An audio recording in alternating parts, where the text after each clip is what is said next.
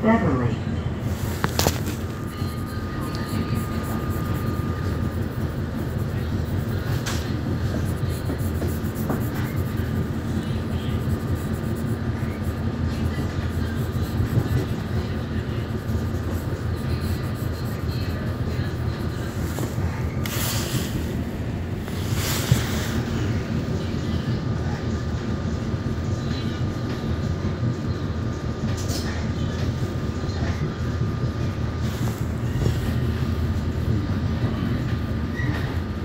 Now approaching 95th Street, Beverly.